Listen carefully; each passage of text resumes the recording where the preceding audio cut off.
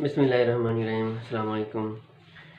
आज हम exercise five point five का क्वेश्चन नंबर फाइव हल करते हैं। इसमें एल वाला सेट दिया हुआ है। एक्स जबकि एक्स रुकन है या एलिमेंट एन का और एक्स छोटा है या स्मॉलर है या इक्वल है फाइव के और एम वाला दिया हुआ है। वाई रुकन है पी एम प्राइम नंबर का है और वाई छोटा है दस है। तो मालूम क्या करना है? एल से एम पर वाबत बनानी है या फाइनल रिलेशन करनी है एल एल टू एम मालूम क्या करना है? आर वन दिया हुआ है आर टू आर थ्री और आर फोर दिया हुआ है।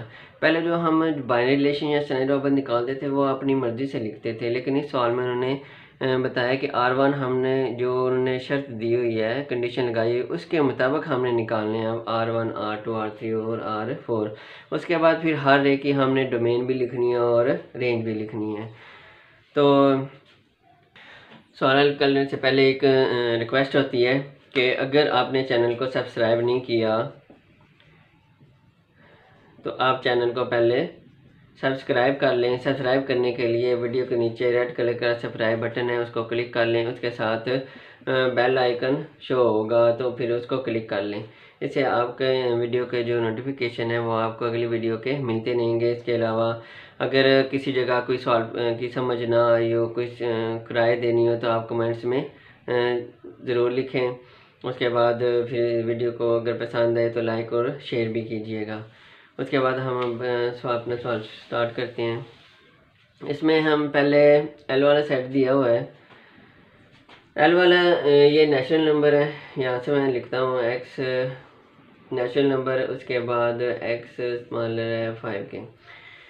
ये एन का मतलब होता है नेशनल नंबर नेशनल नंबर कौन से होते हैं? कुदरती अदाद होते हैं। कुदरती अदाद किधर से शुरू होते हैं? एक से शुरू होते हैं। कुदरती अदाद एक से शुरू होते हैं और जो होल नंबर या मुकम्मल अदाद है, वो ज़ीरो से शुरू होते हैं। तो हमने यहाँ इसमें कहाँ तक लिखने हैं? इसमें उन्होंने कहा है कि एक्स से छोटा है या स्मॉलर है।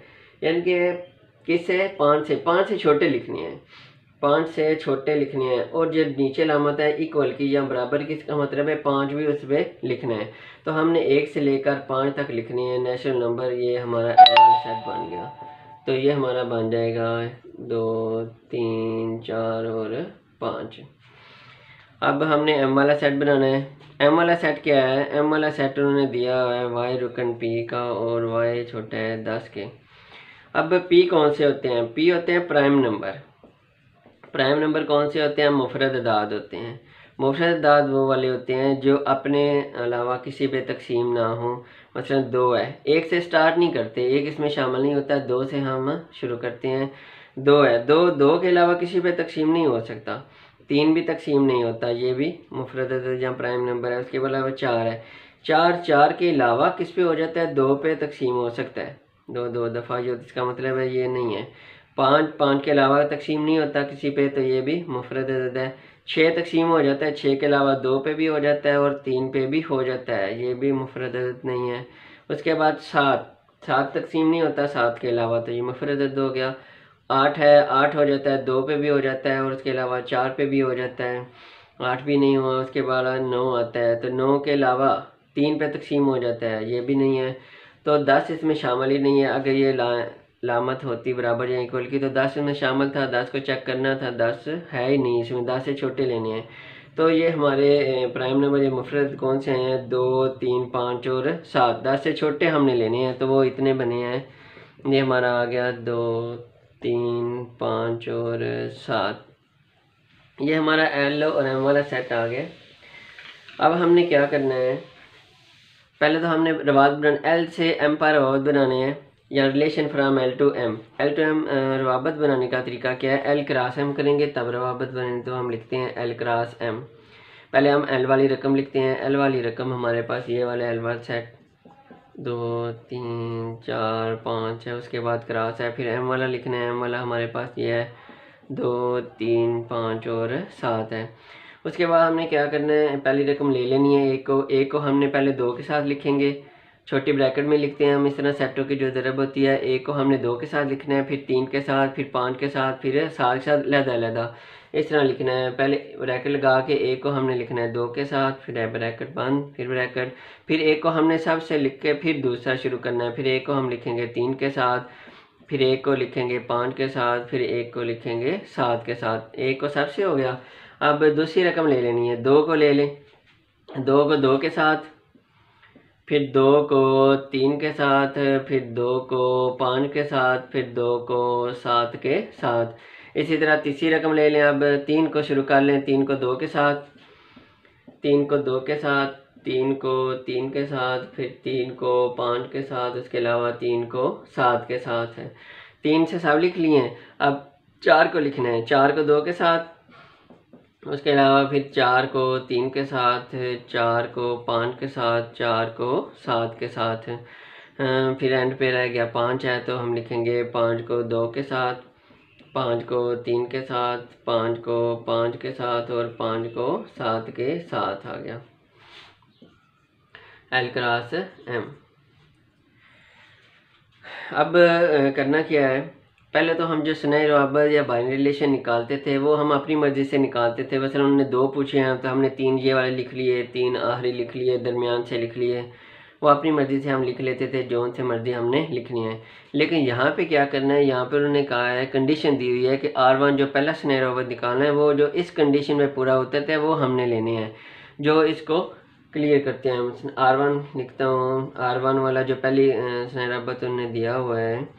वो दिया है वाई छोटा है एक्स ये वाली उन्होंने साइन दिया है, ये वाला। ये शर्त दी हुई है। यहाँ पे ये शर्त लिखी हुई है, ये कंडीशन है उनकी कि ये वाले जो इस पे पूरा उतरते हैं, उसके नीचे ये वाले लिखने हैं।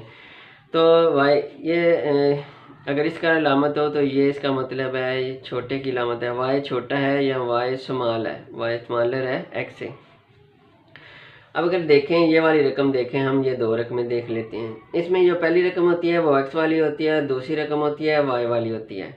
सारी ब्रैकेट, जो जिस जो भी इस तरह लिखी होगी, छोटी स्मॉल ब्रैकेट में लिखी होगी, उसमें पहली रकम एक्स वाली होती है और दूसरी रकम कौन सी होती है? वाई वाली होती है। तो हमने कौन से लिखने हैं, जिसमें वाई छोटा एक्स है वाई वाली रकम जिसमें छोटी हो और एक्स वाली बड़ी हो, वो लिखनी है। इसमें वाई वाली बड़ी है और एक्स वाली छोटी है। तो ये हम इसमें नहीं लिख सकते। तो हमने वो वाले देखने हैं जिसमें वाई वाली रकम छोटी आती है। इसमें देखें वाई वाली रकम बड़ी है एक्स है वाई वाली बड़ी रकम है वाई वाली बड़ी है, इसमें भी बड़ी है, इसमें बराबर आ गई है। बराबर वाले भी बड़ी तो नहीं है, ये भी बड़ी है, ये बड़ी है वाई वाली बड़ी है, ये वाई वाली छोटी आ गई है इसमें। तो हम इसके नीचे पहले ये लिखेंगे। तीन वाओ दो। इसमें वाई वाली छोटी आई है और ये बराबर है, ये वाई वाली बड़ी आ रही है वाई वाली बड़ी है। इसमें वाई वाली छोटी आ रही है। चार दो में वाई वाली रकम दो है, ये चार से छोटी है तो वो लिख लेंगे चार वाओ दो लिख लेंगे। ये भी वाई वाली रकम छोटी है, चार वाओ तीन लिख लेंगे, उसके बाद ये वाई वाली बड़ी है, ये भी बड़ी। इसमें छोटी आ रही है वाई वाली। वाई छोटे, ये लिख लिया। पाँच वाओ तीन भी छोटा है तो हम लिख लेते हैं। तीन छोटा है वाई वाली, उसके बाद ये बराबर है, ये वाई वाली बड़ी है तो हम ये हमारा आर वन हो गया। आर वन तो हमने निकाल लिया है। अब उन्होंने क्या है कि इनकी डोमेन और रेंज भी निकालनी है तो हम इनके डोमेन और रेंज भी निकालेंगे। डोमेन आर वन डोमेन में कौन से रुकन लिखते हैं? डोमेन में जो जितनी आपकी ब्रैकेट है, उसमें से जो पहला पहला रुकन आएगा, वो हम डोमेन में लिखते हैं। डोमेन में पहला पहला। इसमें पहला रुकन आया तीन, इसमें पहला रुकन आया चार, इसमें पहला रुकन आया चार। चार पहले ही आ गया सेट में हम एक दफ़ा ही लिखते हैं। इसमें पहले रुकन आया पाँच और इसमें भी पाँच तो पाँच पहले लिख लिया तो ये हमारी डोमेन होगी। अब इसकी हमने निकालनी है रेंज रेंज आर वन की निकालनी है इसी की। रेंज कौन सा रुकन लिखते हैं? जो दूसरा दूसरा होता है। ये दूसरा दूसरा जो आएगा, वो रेंज में आएगा। इसमें दूसरा क्या है? दो। इसमें छोटी ब्रैकेट ख़त्म कर देनी है, क्योंकि हमने वो रुकन ही अलहदा कर दिए पहला पहला अलहदा कर दिया, दूसरा अलहदा तो इस तरह ये ब्रैकेट का मसला ही कोई नहीं रहा। दूसरा दो आया, दो पहले आ गया, तीन आया है उसके बाद तीन के बाद दो आ, लिख लिया है, तीन भी लिख लिया तो ये हमारी रेंज निकल आएगी। अब हम निकालते हैं आर टू आर टू में उन्होंने कौन सी शर्त दी हुई है? ये वाला आर टू है, वो दिया हुआ है। एक्स वाई दिया हुआ है, उसके बाद वाई बराबर एक्स है। इसमें ये शर्त दी हुई है ये इसमें शर्त क्या है कि जो एक्स वाली और वाई वाली दोनों आपस में बराबर हो वाली लिखनी है। और जिस तरह ये देखो, ये बड़ी आ रही थी, बराबर, ये वाली बराबर आ रही है। ये दोनों बराबर हैं, जिसमें दोनों बराबर हों, वो लिखेंगे। तो इसमें हम लिख लेते हैं, एक आ गई हमारी, दो व दो आ गई। उसके बाद एक, ये तीनों, तीन वाली आ जाएगी। तीन तीन आ गई, इसमें ये बराबर आ गई है। उसके बाद बराबर आ रही है, ये पाँच व पाँच बराबर आ रही है। तो ये हमारा आर टू भी निकल आया अब इसकी डोमेन और रेंज निकालनी है। तो डोमेन आर टू में क्या करेंगे? पहला रुकन लिखना है। पहला इसमें दो है। इसमें पहला रुकन तीन है। इसमें पहला रुकन पाँच है। ये हमारी डोमेन निकल आई। और अब हम लिखनी है रेंज आर रेंज लिखनी है। रेंज में दूसरा रुकन दो है। उसी तरह दूसरा रुकन तीन है। इसमें दूसरा रुकन पाँच है। तो ये हमारा आर टू भी इस तरह हल हो गया है। अब हम तीसरा साइन रबत यहाँ बाइंड रिलेशन निकालते हैं। तीसरे में आर थ्री है। आर थ्री दिया हुआ है एक्स वाई है और उसके बाद दिया है X plus Y is equal to six तीसरा उन्होंने ये शर्त दी हुई है, ये वाली। ये शर्त में क्या है? तो एक्स जमा वाई बराबर जो एक्स वाली रकम और वाई वाली रकम। ये एक्स वाली रकम, ये वाई वाली रकम। दोनों को जिसमें भी जमा करें तो छः आए तो वो लिखनी है। जिसमें जमा करके छः आए अगर इनको जमा करते हैं, सात है वाई का एक्स का, दो है, दो और सात जमा करें तो नौ आता है। तो नौ आता है तो यहाँ पे छः आना चाहिए तो जिसमें छः आए वो लिखने हैं, इसमें ये वाले नहीं लिखने, जिसमें छः के अलावा कोई और रकम आती हो। इनको जमा करें तो तीन आता है, ये चार आएगा, ये छः आ जाता है, पाँच और एक छः हम वो लिखेंगे जिसमें छः आ जाएगा, एक और पाँच आ गया। ये आठ आता है, ये चार है, ये पाँच आता है, ये सात है, ये नौ है, ये पाँच है, ये छः आता है। ये बराबर वाले में भी आया है और छः वाले में भी आ जाता है। तीन जमा तीन छः हो जाता है। उसके बाद ये आठ है, ये दस बनता है, ये छः बनता है ये। तो हम चार और दो लिख लेंगे। उसके बाद सात है, नौ है, ग्यारह बनता है, सात है, आठ है, दस है और बारह। इसका मतलब है ये हमारे आर थ्री वाले यही बनते हैं। तो अब हमने इनके लिखनी है डोमेन और रेंज लिखनी है। तो हम लिखेंगे डोमेन आर थ्री की डोमेन। पहला पहला रुकन एक है, इसमें पहला तीन है और इसमें पहला क्या है, चार है। तो हम दूसरा लिखेंगे रेंज रेंज यहाँ हम दूसरा रुकन लिखेंगे। दूसरा इसमें पाँच है, उसके बाद तीन है और उसके बाद क्या है? दो है। ये हमारी डोमेन बन गई और दूसरा दूसरा रुकन हमारी रेंज बन गई है। अब तरतीब से भी लिख सकते हैं। दो, तीन, पाँच भी लिख सकते हैं, उससे कोई मसला नहीं होता है। ये सेट में तरतीब का कोई मसला नहीं है, लेकिन इसमें तरतीब ज़रूरी होती है, जो छोटी ब्रैकेट होती है। अब हम चौथा पार्ट करेंगे। चौथा जो ने दिया हुआ है, वो हमें ये वाला दिया हुआ है। आर फोर दिया हुआ है, एक्स वाई दिया हुआ है और Y minus X is equal to two है। ये एक्स वाई दिया है, ब्रैकेट में मतलब वही वही बता रहे हैं कि पहली रकम जो है वो एक्स वाली होती है और दूसरी रकम वाई वाली लेनी है उसके बाद। अब इसमें शर्त क्या है कि वाई वाली रकम तो दूसरी होती है और वाई वाली, एक्स वाली रकम पहली होती है। वाई वाली में से एक्स वाली माइनस करें तो दो आए। इस वाई वाली में से एक्स वाली माइनस करें तो सात में से दो निकालें तो पाँच आता है। तो दो तो नहीं आ रहा तो इसमें हम ये नहीं लिखेंगे, जिसमें से माइनस करके वाई वाली में से माइनस करनी है, दो आना चाहिए। इधर देखते हैं, दो में से एक निकालें तो एक आता है तो दो नहीं आ रहा, ये नहीं लिखेंगे। तीन में से एक निकालें तो दो आ जाता है, ये हम लिख लेते हैं। एक और तीन वाई वाई से एक्स निकालें तो दो बनता है। ये माइनस करें तो चार बनता है, ये छः बनेगा, ये ज़ीरो बनेगा, ये एक, ये तीन बनेगा, ये पाँच बनेगा, ये माइनस ही नहीं होता। वाई वाली बड़ी होनी चाहिए वाई वाली से ये ज़ीरो आ जाता है। ये पाँच में से तीन निकालें तो दो आ जाता है। पाँच और तीन आ गया। हमारा तीन और पाँच बनता है। तीन और पाँच पाँच में से तीन निकालें तो दो आता है। ये सात से तीन चार है। ये भी छोटी है। ये भी माइनस नहीं होगा। ये पाँच में से चार एक आएगा। सात में से चार तीन है। ये छोटी है, माइनस ही नहीं होगी। ये भी सात, पाँच, ये सात में से पाँच माइनस करें तो दो आ जाता है। तो ये हम लिख लेते हैं।